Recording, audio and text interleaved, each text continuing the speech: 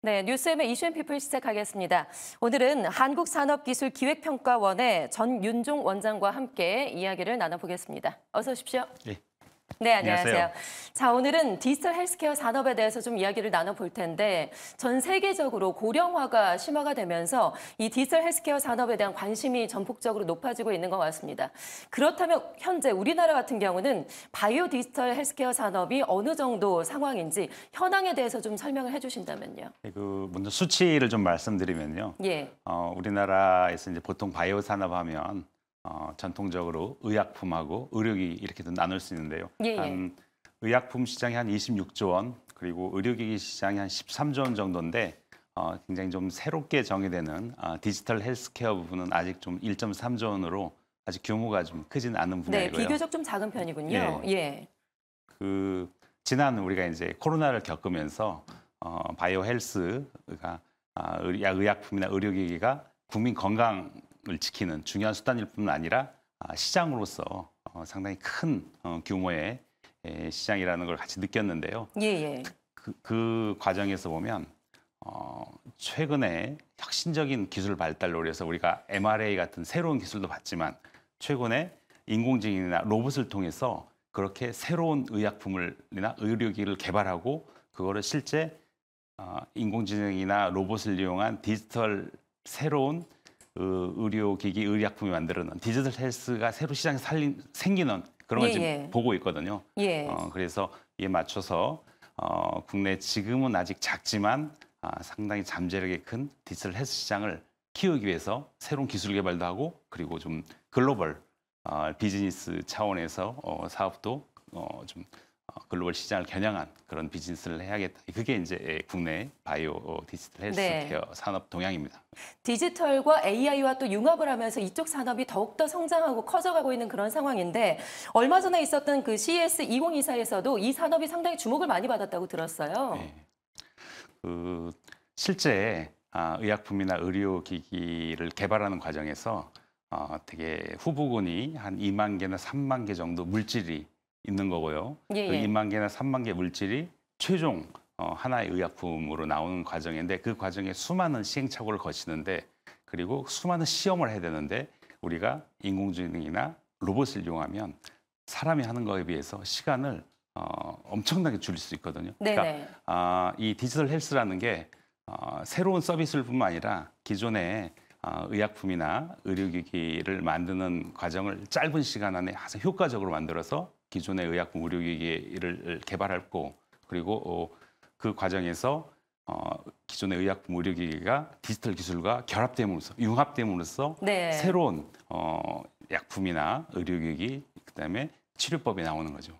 그런 분야 그렇게 그래서 실제 CES를 가보면 네. 어, CS가 가전 쇼잖아요. 그렇죠. 가전 쇼 시작했는데 어, 이 새로운 어, 디지털 기술을 결합한 게 적용하는 적용되는 분야가 아, 우리 건강 의료에 보, 많은 적용되고 있어서 어, 제가 어, 올해하고 작년 가봤는데 언뜻 예, 보기에 예.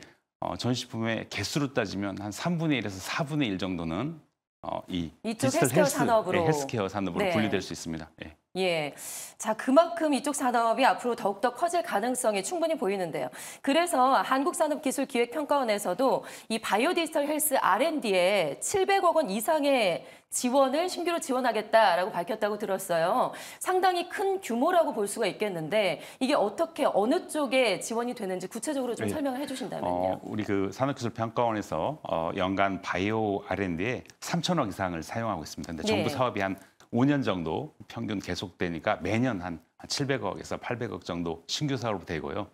어, 우리 경제는 음, 기본적으로 어, 민간이 주도하고 정부가 지원하는 분야입니다. 바이오 R&D도 어, 시장에서 어, 주도적으로 일어날 수 있게 하고 정부는 꼭 필요한 어, 원천 분야, 공통 핵심 분야, 그리고 좀 더 도전적이고 혁신적인 분야, 그리- 그리고 어, 글로벌 협력을 도모할 수 있는 분야 이런 분야를 중심으로 해서 어, 바이오 산업 육성을 위해서 산업 부 산업 정책과 같이 하면서 우리 산업기술기획평가원이 바이오 분야 R&D를 지원하고 있고요. 예. 어, 제 의료 분야에서는 이제 저희가 맞춤형 진단 의료 제품, 그다음에 첨단 바이오 신소재, 아, 그리고 소재 부품 장비 기술 개발 아, 같이 좀 어, 산업의 바이오 산 공통적으로 필요한 소재 부품 중심으로 어, 바이오 산업 R&D를 지원하고 있습니다.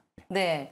이 산기평이 산업통상자원부의 산하기관으로 예. 알려져 있죠. 예. 예. 산기평 같은 경우 국내에서 유일하게 산업 전반에 대해서 R&D를 지원하는 국내 유일한 기관으로 알려져 있는데 그래서 이 말씀하신 뭐 바이오 디지털 헬스 R&D 외에도 다른 산업에도 여러 가지 지원 사업을 펼친다고 들었어요. 예. 이 밖에 또 어떤 산업 쪽에 또 지원을 하고 어, 계신지요? 저희가 한 연간 그 3조 원 정도의 예, R&D 지원을 진행하고 있고요.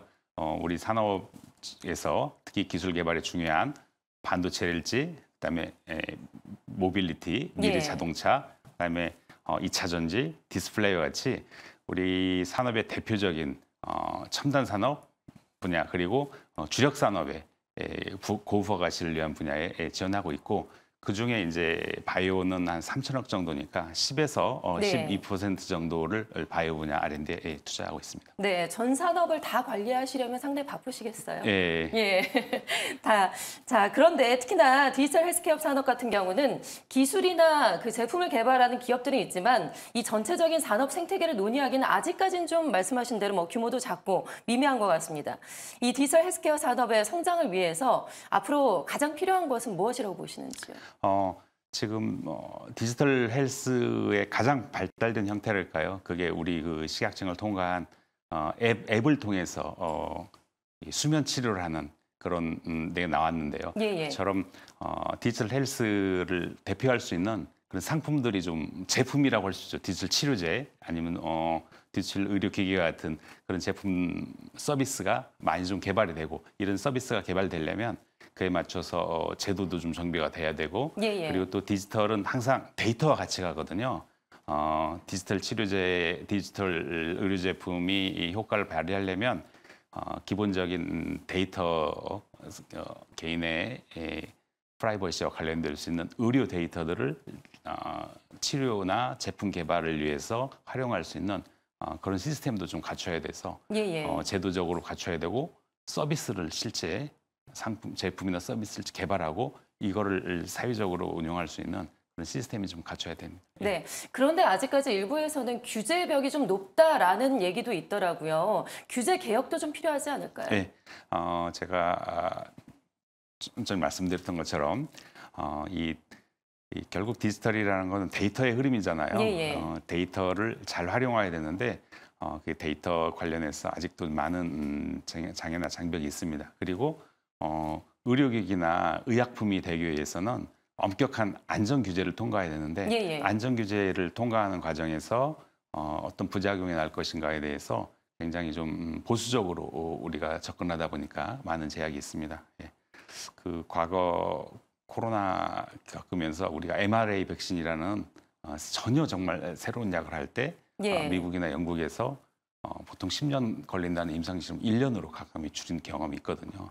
우리도 어, 이 디지털 헬스와 같은 새로운 분야에 어, 좀더 적극적이고 어, 어, 분야로 적극적으로 어, 규제를 좀 풀어나가면서 어, 해볼 필요가 있지 않나. 뭐, 예. 예, 알겠습니다. 자, 이미 주요국들에서는 이 디지털 헬스 산업을 위해서 관련 법안을 오래전에 통과를 시키고 실제로 의료 현장에서도 이를 활용하고 있다라고 합니다.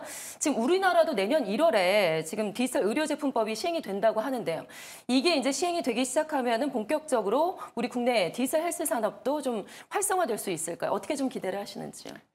제도적 기반을 갖추고 어, 필요한 기술 개발이랄지 이, 그다음에 에, 우리가 인력 양성이랄지 그 기반이 되는 표준화, 아, 국제 협력 같은 어, 이 디지털 헬스 산업 발전을 위한 음, 어, 기반을 갖춘다는 측면에서 그리고 제도를 갖춘다는 측면에서 그리고 막연한 어, 규제를 좀 더 구체화한다는 측면에서 산업 발전의 계기가 될 거라고요. 구체적으로 어, 디지털 의약품, 어, 디지털 의료기기, 디지털 어, 건강지원기기 이렇게 나누는데 예를 들면 어, 전자약이나 아, 그다음에 소프트웨어, 그다음에 디지털 센서와 연결된 의약품 그리고 어, 디지털 기술이 이- 지원하는 장치 이런 음, 구체적인 디지털 헬스케어 제품과 서비스가 나오는 좋은 계기가 될 걸로 생각합니다. 예, 알겠습니다.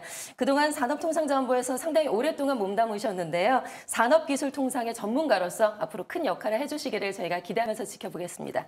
지금까지 한국산업기술기획평가원의 전윤종 원장과 함께 이야기를 나눠봤습니다. 고맙습니다. 예, 감사합니다.